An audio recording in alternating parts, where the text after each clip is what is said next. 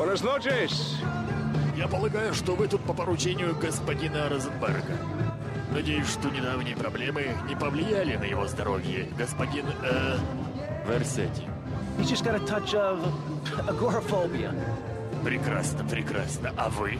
Я всего лишь хочу свой товар. Ах, тут совершенно неудачное стечение обстоятельств. Конечно, я сначала собственное расследование проведу, но на такое деликатное дело нужно время. Может, мы поговорим позже? А пока позвольте представить вас дочери. Cara mía.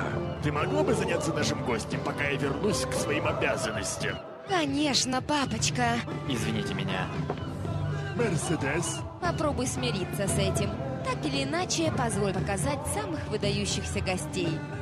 Это наш конгрессмен Алекс Шраб с восходящей силиконовой звездой Кэнди А вы Сакс. знакомы с моей женой Лаурой? Ну, к сожалению, она в Алабаме. Это Кэнди. А вот это звезда Вайс-Сити, великолепный Биджей. Всегда очаровашка. Я придержал его, а потом посадил в инвалидную коляску. Это хорошо. А теперь я присматриваюсь к первоклассной А недвижимости. тот, кто возле бассейна? Джез Торрент, знаменитый певец из Love. Могу спорить, вы знаете, как играют в пинг-понг в Таиланде. Я расскажу вам.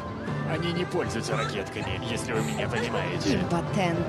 И болтливое трио. Та спящая туша, правая рука папы, Гонсалес.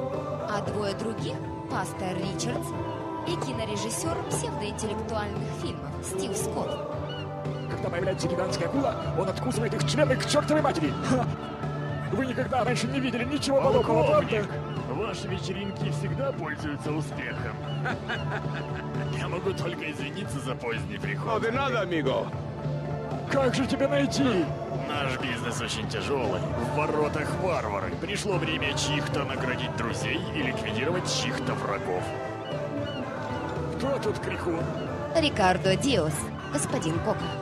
Mercedes. О, я как раз собиралась отвезти в город своего друга, в другой раз, Рикардо. Рикардо, давай работать вместе. Давай отсюда. Действительно, возьмите меня в клуб.